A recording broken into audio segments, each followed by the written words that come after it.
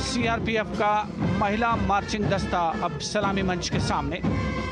Peace keepers of the nation के नाम से जाना जाता है। नेतृत्व कर रही हैं दो बटालियन विशाखापट्टनम की असिस्टेंट कमांडेंट मेघा नायर।